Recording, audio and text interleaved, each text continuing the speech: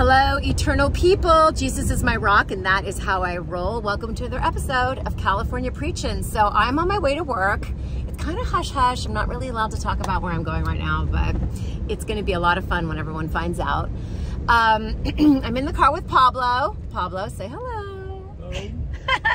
I just can't believe it. Last week it was Olivia Newton-John. This week it's Anne Heche. I just cannot believe how tragic. I watched that video back and I was like, did they speed up the video of her car? And then I realized, no, they did not. She was driving, uh, had to be 90 miles an hour, right, Pablo? That's right. Whew, really tragic and what a talent she was and what a beautiful human being. I know there's like a lot of controversy around the whole thing, but I just, you know, when a soul is lost, a soul is is lost uh, and it's just very sad. So I wanted to let you guys know that I have a special guest coming today to the set to visit me and um, I'm gonna keep that a secret. Here's a thought for the day. If Jesus did come to earth, then we, my friends, are in crisis. If the Son of God came to this planet to die for us and to resurrect from the dead for us so that we could have eternal life, you're in crisis. That's a big deal. If God actually came to this planet to do that for you, a crisis is when there's like a fork in the road, when you have to make a decision um, and it's going to be life changing either way. That's literally the definition of crisis pretty much in the dictionary. I looked it up. If it is true that God came to the planet, wouldn't you think to do that for us? Wouldn't you think that um, you'd have some big decisions to make?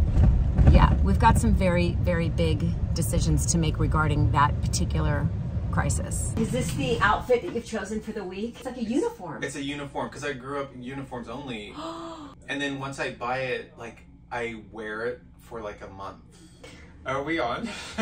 Oh, yes. You're such a good friend. You helped me so much today. oh, good. Yeah, we just had a really nice talk. We did. I feel Okay. like you're on the road to Yeah. some good healing. It's going to be all Jesus all the time. You are married to Jesus. I you know. like bi- biblically, I am. yeah, we're the bride of Christ. And Are you the bride too, though? Yes. Okay, men, good, men and women. We're, he's the bridegroom, and we are. The church is the bride of Christ.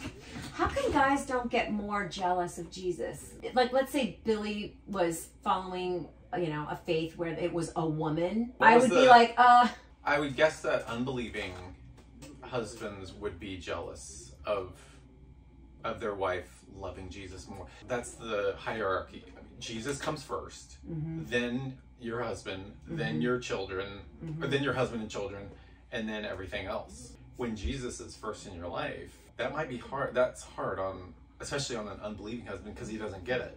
right. Francis Chan, he says I could never be a marriage counselor because if Christian a Christian couple came to me, all I would say to them is put Jesus first. Like look to Jesus first. Right. That's it. Right. Like if you're both looking to Jesus a hundred percent, everything else is gonna work out. That's right.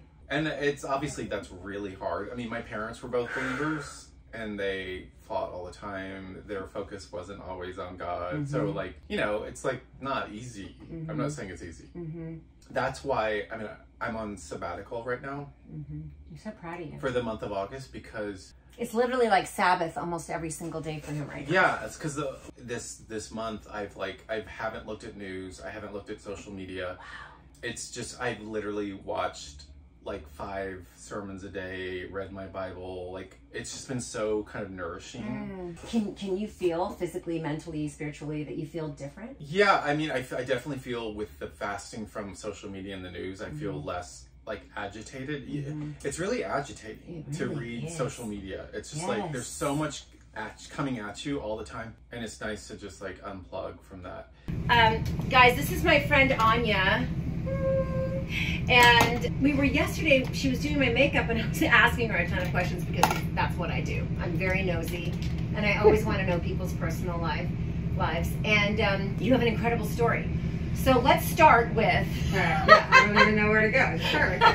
Um, when I was nine, my parents who'd been married for, I don't know, 23 years, um, my mom came out as a lesbian, um, which is additionally interesting because my dad was a minister at the time. I don't even think I mentioned that to you yesterday. Or, wow. yeah, he's retired now, but yeah. Was he full? He was a full-on minister, Yeah. and his wife came out as a lesbian.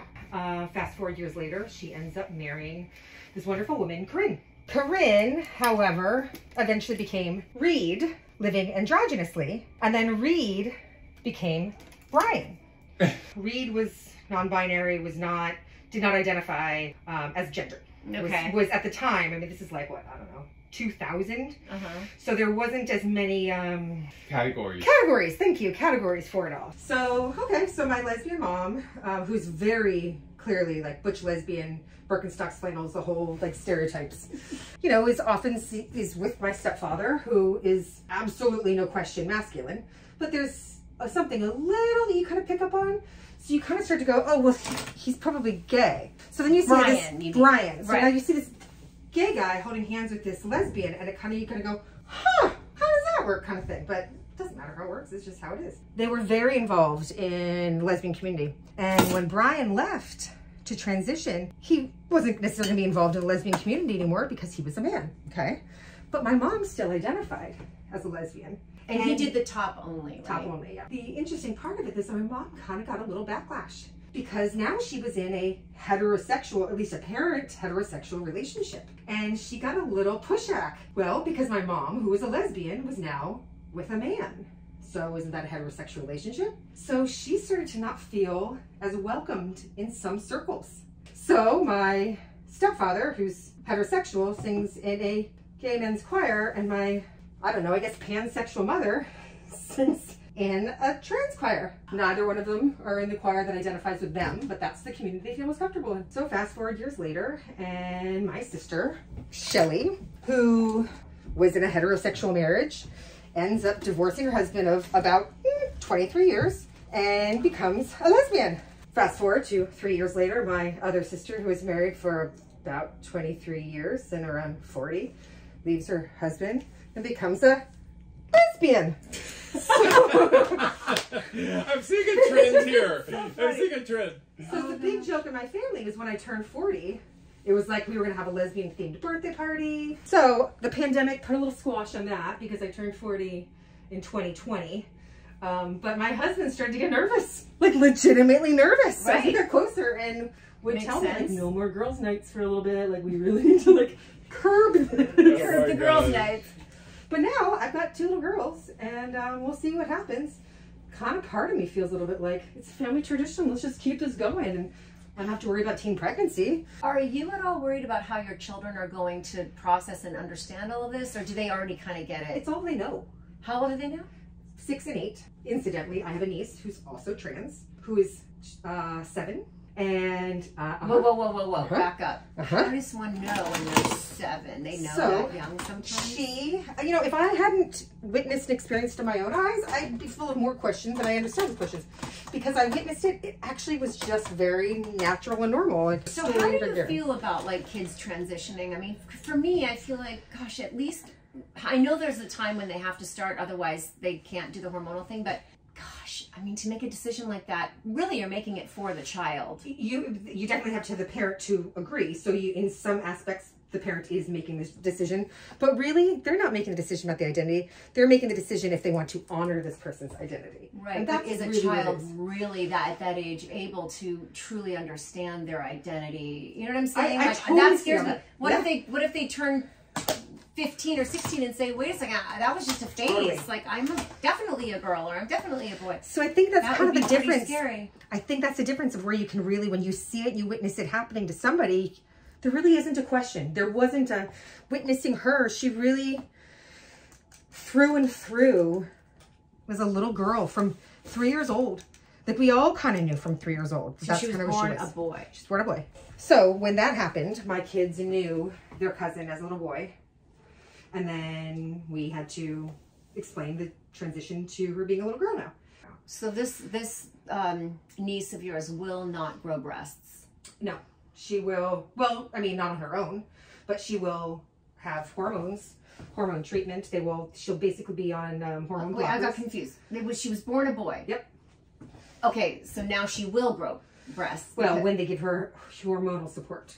Crazy like this is your life but to me when you tell me it's like it's all it's like a scrambled it's scrambled eggs Yeah. i mean it's like whoa how I've kind of gotten to a place of like I don't try to figure out how or why. My how or why is irrelevant. do you raise your children with any faith or do you have a faith Uh, my husband was raised Jewish, although he doesn't necessarily identify Um, I will. I raise my children with the mindset of being Unitarian, um, but we are not active churchgoers, let's say. But to me, it's about inclusion. Life is about inclusion in anything, whether we're playing a game or we're sharing thoughts and ideas. Do you have any thoughts on death? Like, what do you think happens after we die? We don't know, and I'm not gonna know. So the best I can do is focus on here and now. My God is the concept of truth, being true to my identity, true to myself, true to my convictions. Um, if I'm feeling like I'm living in truth, that's godly to me. What happens if you're not? What do you Um, do when then you're I have not? to answer to myself. do you believe you were? Yes. Do you believe that you were made by a creator? I don't think so. So those are my challenges. If I believe this, and, so, and I say this is the truth, then I'm also saying that's not true. And why is my true more than your true? So that's where I go to Here's another of, really intense question. yeah. But do you think that we're all supposed to agree with each other all No. the time? No, I mean, not. Yeah. obviously, if everyone agreed, everyone agreed with Hitler, and it was not. Sure. Yeah. No. not I mean, a good we- thing. Starting to explore the Baha'i faith a little. There are all we are all in search of the same thing. There's all all of these religions are the same in that there's a truth, there's a power that gives us guidance. The idea being that this prophet came to this space at this time for these people to send this message because that's what it needed to be. It doesn't negate Christianity and it doesn't negate Judaism and it doesn't negate, you know, Taoism or Shintoism because that was the space that that message needed to be received. It Tell me. does negate Christianity Okay. if we feel there's a one God, and that's Jesus. So then Sure. that would not be in alignment with your religion and or Well, your I'm saying I'm saying Baha'i. But you see what I'm saying? Yeah, like, yeah. so you can say it's all inclusive, but then it wouldn't be because that in and itself Yeah. is an exclusive belief. Sure, sure. That's your exclusive belief. So you're also having an exclusive Sure, belief. So sure. Christians are having an exclusive belief, and then your Oh. all-inclusive thing is also Oh. an exclusive belief. I, I will sign off on that. Yeah. Sure. So glad that we connected. Maybe we'll pray later. Why don't you come back and we'll pray? That was intense. Yeah, it was. It's so sweet that she was willing to talk to us. Yeah. You know what I mean? And to tell us her story. But literally, my brain feels like it's scrambled right now. Yeah, and it's what to me. What's interesting is it's when you when you don't know the plumb line of the Word of God, when you don't know Jesus. When you say the plumb line, does that mean like the basic, like, It's what architects used to use to to make a building straight. mm, So they would put a, a like a lead weight on a string, mm, and that's the plumb line. So the Oh. Bible is our plumb line. Okay. That's how we know we're, um, you know, aligned with God's word. What what struck me about that story is when you don't know Jesus, and that's how I was. I mean, before I came to Christ, it's just everything was like you don't know it. You don't know what's what. You don't know what's Mm-hmm. good, what's bad, what's right, what's wrong, what's left, what's right. so instead you just accept everything. you don't know what reality is. You Mm. don't know what the meaning of life is. You don't, Mm-hmm. and even even just not knowing where you're going to go when you die or what what happens after you die Mm-hmm. is such a heavy burden to bear. Yeah. I questioned that for a long time because, I don't know, death just freaked me out for the longest time. But remember when I met you, I was always obsessing on death. Yeah, I don't do that anymore. Are you Good. proud of me? that's good. Yeah, because I, I've grown and I've matured in my faith and I, I feel confident about where I'm going. Yeah, I now. taught you that death is good because we get to see we get to be with the Lord.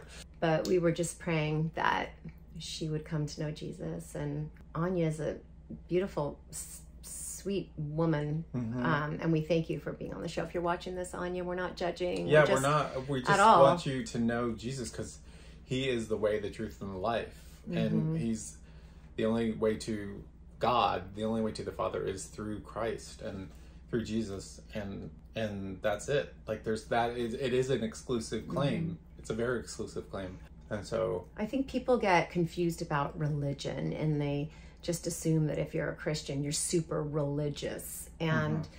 But I always say to people, I say I'm not religious. I'm just faith filled. Is that a good thing to say? or like I'm in a relationship. Yeah, in a relationship with Jesus. yeah. Jesus. Because of God's grace on us, we get to know the truth. Mm-hmm. We get to know Jesus. We get to have a relationship with Him, and that is incredible and amazing. That's why we're going to have all of eternity to thank Him Mm-hmm. and worship Him at His throne. So I'm excited about that.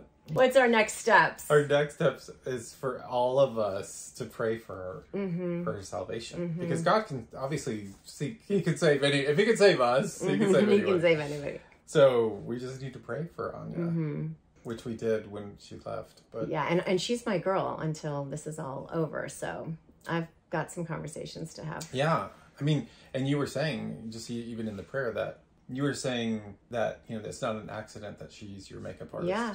And that she's she's literally sitting in a room with two Christians, Mm-hmm. one who got saved out of uh, you know a crazy life. Both of us got saved Yeah. out of a crazy life. So That was not a that's not a, an accident. No, that that's not a here. coinky-dink. No.